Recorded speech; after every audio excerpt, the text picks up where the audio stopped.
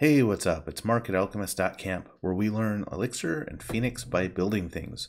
Today, I am going to show you how to set up Tailwind CSS and Post CSS in a new Phoenix app. So we'll start by creating the app, mix phoenix.new. Since this is for Tailwind, we need something related to wind. So tornado, actually no, do a Zephyr. And once that's generated, then once it's generated, we'll go into the newly created directory. I'll open up the, the tab so we can see all our stuff. Yeah, looks like we've got a new app. We need to go into the assets directory. And from there, use npx. If you're not familiar with npx, just Google it. It's pretty easy to get set up. It lets you install uh, various uh, various tools that you can run from your command line. Well, npx tailwind css init. That next thing we'll do is you'll see we have a tailwind.config.js that's been created by it. We have a webpack config, but we don't have a post-CSS config, and actually we haven't even installed post-CSS, so let's get that now with yarn. Do yarn add dash d to add in development.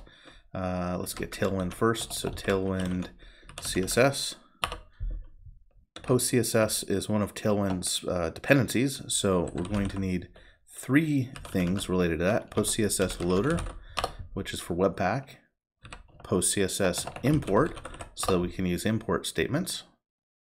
And then finally, we need uh, purge CSS. We don't need it, but without purge CSS, Tailwind CSS is pretty big. Purge CSS will cut it down to just the styles you're using. It's usually an extremely small asset file then. So yarn add dash d full human is the uh, is where the uh, repo is. Post CSS dash purge CSS. Okay, we've got all of those added. Let's go back to our Webpack config and in our config we need to make actually let's just full screen this here. And in our config, we need to add post CSS loader. It'll go right here after CSS loader. Post CSS loader, and the order is significant. Basically, everything in here gets done in reverse order. So post CSS uh, conversion gets done first, and then CSS, which is it's got to be that way since post CSS will spit out CSS. Then we need to create a new file for the post-CSS config. That'll still go in the assets directory, and it is post-css.config.js. This is where we configure all the plugins. So we'll have a module exports, and in the exports, we'll have a plugins list here, or array. Sorry, this is JavaScript and that's going to include post CSS import, and it's going to include Tailwind CSS, and it's also going to include auto prefixer.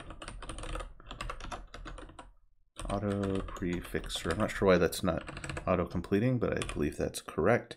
And then finally, purge CSS. Purge CSS and we've got to set that up since purge CSS isn't defined here. It has options of its own that we'll set up like this. Const purge CSS is require full human post CSS purge CSS and then we'll pass in our options in an object like this. The content, and this is just what it's going to be watching. Since Purge CSS is for making sure we're only including the styles we use in our bundle, we've got to tell it where we're using CSS, where, which files we need to look at to know uh, which styles are being used that we can put into our bundle.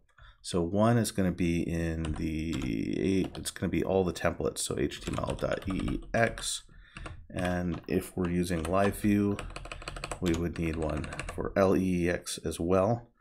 Then let's see, we've also got views, so that would be views slash anything dot ex, and then possibly, or very likely in JavaScript, so js slash, actually this is just single dot. So we're in the assets directory here.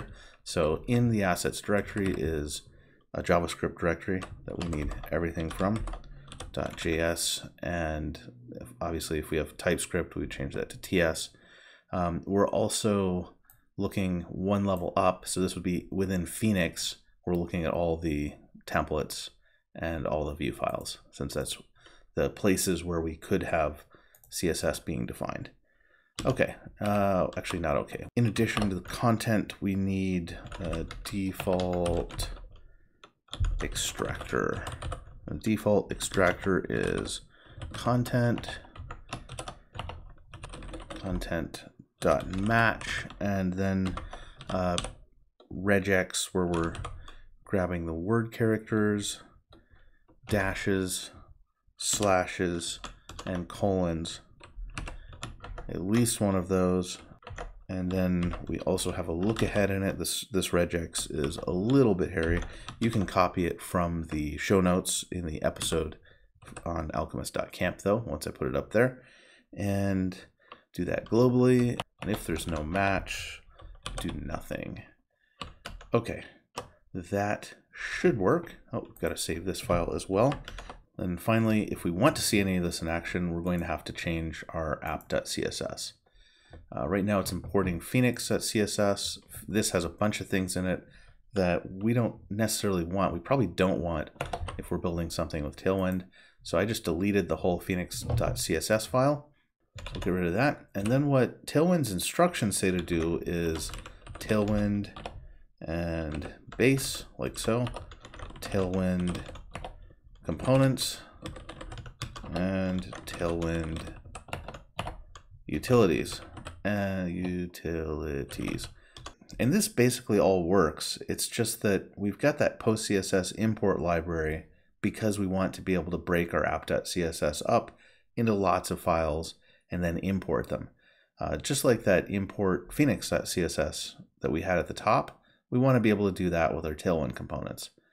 That phoenix.css import wasn't broken at all, but if we were to use apply inside of a component, then we wouldn't be able to import that apply into this file. So the choice is either we do all of the applies, like everything we're extracting out into our own components in this file, or else we change the syntax to an import syntax. And that's what I'm going to do. So going to say, so we'll just make all of this a big comment. And in the comment, we'll say uh, instead of this files for main CSS application, we'll say this uh, won't work since we want post CSS import uh, so we can use apply inside included files. All right. The way we can do it is we just use imports. So import tailwind CSS, have to have the CSS in there, slash base, and import tailwind CSS slash components, and then import, as you probably guessed, tailwind CSS slash utilities. Let's save that and actually get out of full screen here and see if we can run our app and see that see that anything works at all. So we'll have to get back to our main directory, then iex-s mix phoenix.server. Ah, database doesn't exist. Of course, mix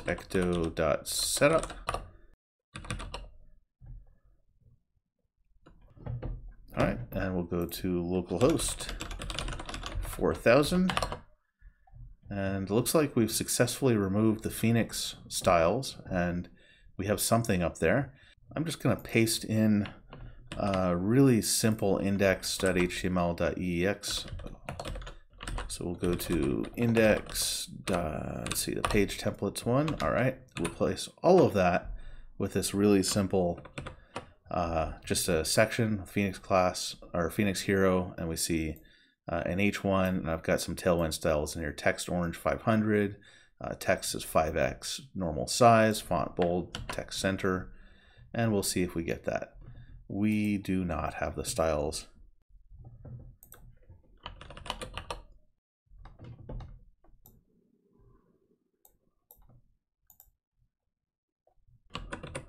but after rebooting the server, we do. So note that if I change this to 300, it should become a lighter orange right away, but instead we've got nothing. Why is this black? Well, that's because Purge CSS is only including the styles that we're using. We didn't use this style. So we need to change our config just a little bit. In our post-CSS config.js, note that we've got these various plugins and Purge CSS is looking at all of these files, one of which we did change. We need to only do this purge in production. So instead of just purge CSS here, we'll change it to this, which will basically include nothing. So if it's in dev, we're not going to purge at all, but we want to purge if it's in production.